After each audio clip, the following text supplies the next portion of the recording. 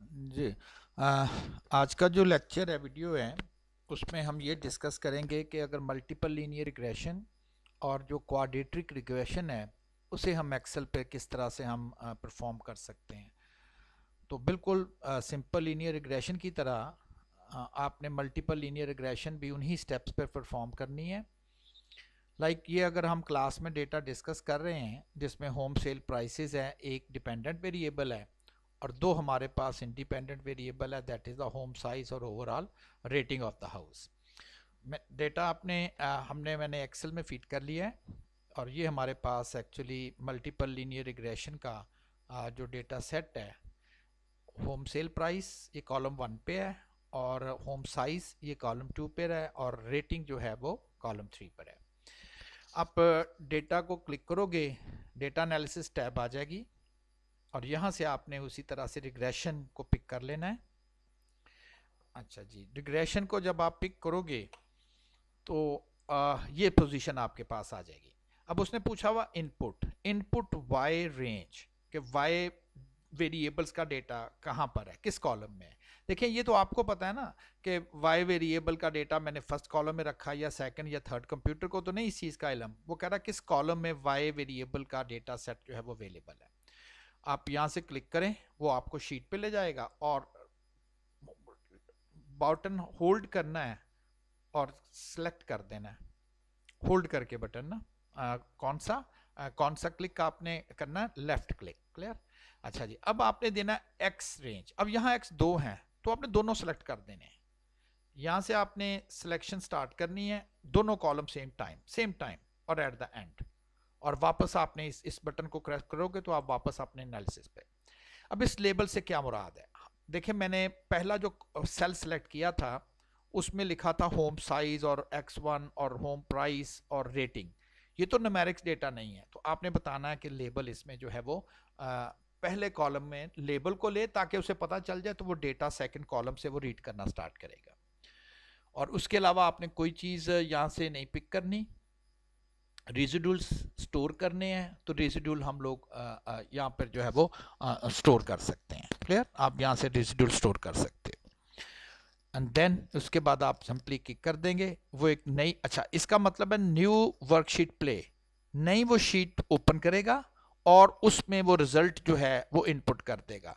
अगर आप उस शीट का नाम रखना चाहें रिजल्ट्स ताकि आपको पता चले ये किस शीट में है तो उसने रिजल्ट्स के नाम से एक शीट बनाई। ये देखें रिजल्ट्स के नाम से एक शीट बनाई और उसमें हमारी आउटपुट जो है आ, उसने ऑल टुगेदर यहाँ पर सेव कर दी। अगर हम रिजल्ट्स को मैच करना चाहें रिजल्ट्स को तो देखें कि ये जो तीन कॉफिशेंट्स हैं और ये जो स्टैंडर्ड एरर है टी रेशोज़ हैं और मैं अगर इनको आ, इनके डेसिमल्स को कम करूँ ताकि थोड़ा सा हमें क्लियरली नज़र आए कि ये क्या है तो इसके मैं डेसिमल्स कम कर रहा हूँ। तो देखें कि ये वही वही रीडिंग आ गई, जो कि हम अपने स्लाइड्स में हम आउटपुट के तौर पे जो है वो डिस्कस कर रहे थे कि ये क्या आउटपुट हमारे पास आ गई तो सेम रिजल्ट्स आ गए। ठीक है ना? ये वही वही शीट मैंने वहीं से ली। 19.56 3.74 और 2.56 तो यही है। 19.56 3.74 यानी कि ये टेबल आपके पास, यहाँ तक यहाँ तक ये टेबल जो है वो एग्जैक्टली यहाँ पर अवेलेबल है। ठीक है? और उसके बाद ये आपको पता है नोवा टेबल वो इससे ऊपर आ रहा है ये नोवा टेबल की एंट्रीज आ रही हैं। एंड देन उससे ऊपर जो है वो आर स्केयर्स वगैरह जो हैं जैसे ये एडजस्टेड आर स्केयर भी मतलब है वो मैंने शायद क्लास में इतना डिस्कस नहीं किया लेकिन आर स्केयर की जो कैलकुलेशन है आ, वो ऑल टुगेदर यहाँ पर अवेलेबल है। तो आपने देखा कि अगर आप एक्सेल में डेटा फ़ीड कर लेते हो तो शायद 30 सेकंड लगे हैं कि वाई कहाँ है एक्स कहाँ है। हाल दो लॉट ऑफ़ नमेरिकल कैलकुलेशन इसकी बैक पर है ठीक है ना?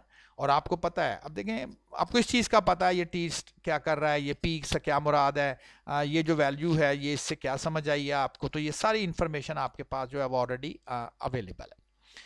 इसी तरह से हमने अब दूसरा किया था, जिसमें हमने क्वाडेटिक रिग्रेशन रन करनी थी। अब क्वाडेटिक रिग्रेशन में हमें एक्चुअली दो वेरिएबल्स चाहिए थे।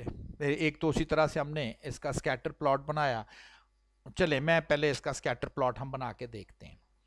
और एक्सेल में क्वाड्रेटिक रिग्रेशन मैंने यहाँ पे जो है वो फिट कर दी। अच्छा इसमें एक चीज़ जो इम्पोर्टेंट ये है कि जो एक्स वेरिएबल है वो पहले होना चाहिए। तो मैं इसको यहाँ से आ, आ, कट करता हूँ और यहाँ पर जाके हम इसको पेस्ट कर लेते हैं ताकि जो सीक्वेंस है वो ठीक हो जाए। एक्स वेरिएबल पहले और वाई बाद में। इसको सिलेक्ट करें। ये सिलेक्ट कर लिया। इंसर्ट और इसके बाद ये स्कैटर प्लॉट आ गया। सिंपल स्कैटर तो उसने हमें एग्जैक्टली exactly वही पोर्शन बना दिया वही क्वाड्रेटिक पोर्शन बना दिया जिस तरह से आ, हमने ग्राफ में देखा कि जी ये क्वाड्रेटिक पोर्शन है then initially there is an increase and then there is a decline as well increase and decline अच्छा जी, इसके बाद अब आपने इसके ऊपर रिग्रेशन रन करनी है।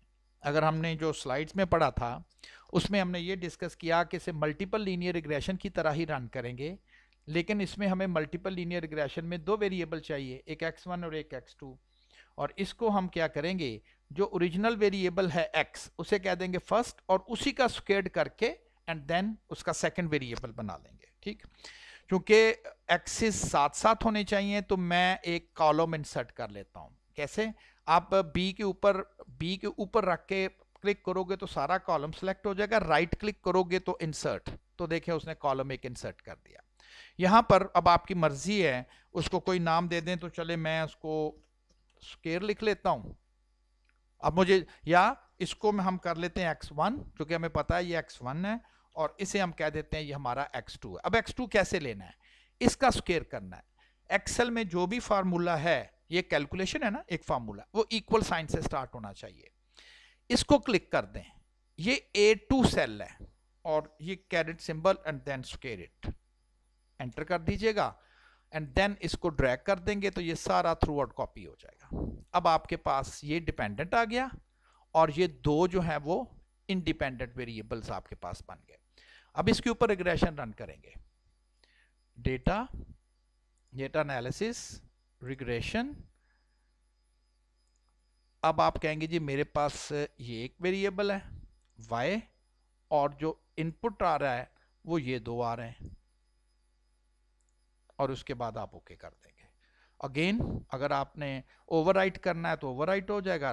और अदरवाइज़ वो एक नई शीट खोल देगा। तो ये हमारे आ, वो रिजल्ट्स आ गए। अगर हम इसके रिजल्ट्स को मैच करें तो ये देखेंगे ये रिज़ल्ट भी हमारे मैच कर रहे हैं। Negative thirty six four point three two six और नेगेटिव दिस वन तो ये एग्जैक्ट ये रिज़ल्ट जो है वो हमारे पास मैच कर रहे हैं। ठीक है ना? तो बिल्कुल सेम पैटर्न पे जिस पैटर्न पर आपने मल्टीपल लीनियर रिग्रेशन की थी एग्जैक्ट उसी पैटर्न पर आप क्वाड्रेटिक रिग्रेशन भी रन कर सकते होप सो कि आपको उस चीज़ की अंडरस्टैंडिंग होगी होगी। बाकी अगर कोई आपको कन्फ्यूज़न हो तो ड्यूरिंग क्लास आप पूछ सकते हो। ठीक है जी फिर, अल्लाह हाफिज़। जी